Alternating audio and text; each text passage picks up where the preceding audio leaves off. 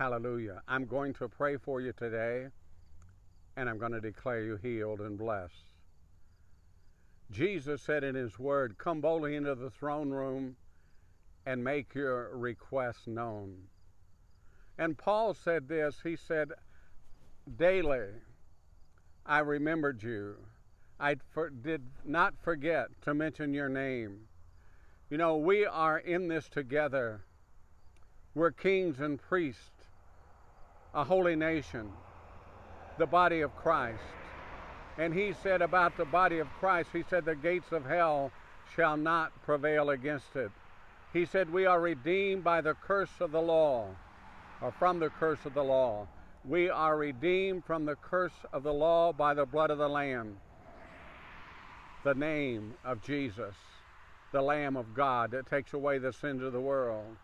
He's come to set the captives free.